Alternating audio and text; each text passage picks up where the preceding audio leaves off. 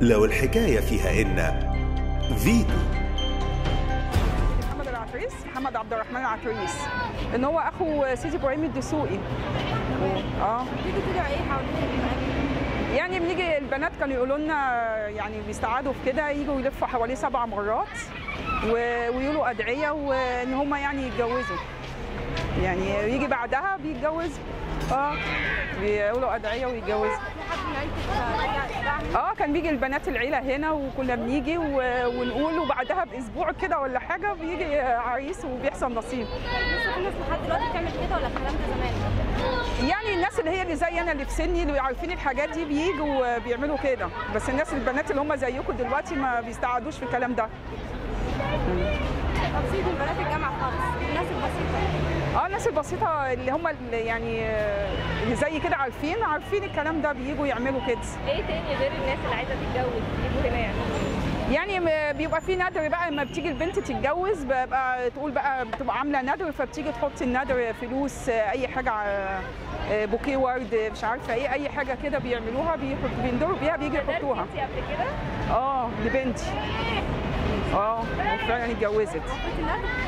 آه وبنتي في كلية زيكم كده وكانت مستعقده في الحاجات دي وفعلا اتجوزت وعملت النادر اللي أنا كنت قايله عليه عادي أنت تصلي في المسجد اللي فيه ضريح بس ما بتتوجهيش ليه بأي حاجة ولا أي دعاء ولا أي حاجة. من قديم الزمان إحنا بنروح عند الرسول صلى الله عليه وسلم المسجد فيه ضريح الرسول وأبي بكر الصديق وعمر بن الخطاب وبنصلي. ما فيش عالم من العلماء قال إن لا ما تصلوش عشان ده فيه ضريح الرسول صلى الله عليه وسلم. ف يعني من قديم الزمان معروف لكن إحنا لا نتوجه للضريح لا بدعاء لا نتوجه للضريح ولا بدعاء ولا بأي شيء غير السلام عليكم ورحمة الله وبركاته. أهل بيت رسول الله صلى الله عليه وسلم. زي ما قال لنا الرسول صلى الله عليه وسلم بس. نتوجه إليهم بالسلام بس. نحن نزور السيدة عائشة والسيدة نفيسة والسيدة زينب.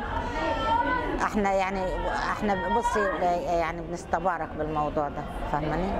فاحنا بنيجي من كل فترة يعني كل 15 يوم كل شهر أو أقل أو أكتر عشان نزور. نحب نصلي الجمعة مثلا في السيدة زينب في سيدنا الحسين آه، كده بنحس إن إحنا حتى لو إحنا مرضى هنخف بس كله بإذن الله يعني بس مش ندرتي حاجة قبل كده؟ ندرتي حاجة قبل كده؟ لا أنا نادرة إن أنا أحط فلوس في الصندوق بس مش في أي صندوق أدخله. لكن كنادر ذبح والكلام ده في اعتقادي ده كله خاطئ. يعني حاجة خاطئة مش مش سليمة يعني. بس ف دول أهل البيت. يعني ما نقولش نروح نزور الشيخ فلان. لأن الشيخ ده شخص لكن دول أهل البيت. فإحنا عشان كده بنيجي إنما نروح نزور الشيخ فلان والشيخ مش عارف- ده كله ده كلام فاضي. دول أهل بيت سيدنا زيهم ومفيش حد كان زيهم في العبادة والتصوف. هنفتكر مين يعني مع احترامي لجميع الناس يعني على على رأس طب إيه رأيك في الناس اللي بتيجي وتقعد تعيط جنب المقام وتقعد تدعي المقام نفسه مش ربنا؟ في ناس بيبقى نوعين. واحدة بتيجي هنا على أساس إن دول أهل يعني أهل بيت كريم واهل نور واهل ربنا ذكرهم في أكتر على فكره أهل البيت مذكورين في القران أكتر من يعني على ما اعرف كده يعني حوالي 10 ايات بس هم أكتر من 320 أنا مش مش مش يعني متفقهه قوي في تفسير القران فاهمه إزاي؟ بس بتيجي هنا ممكن يكون في حاجة مزعلاها فبقيت تتعلم مكان طاهر انت اماكن طاهره فاهمه إزاي؟ في ناس بقى نوعيه ثانية بتيجي تعيط حب حب مش زي عشان يقتربوا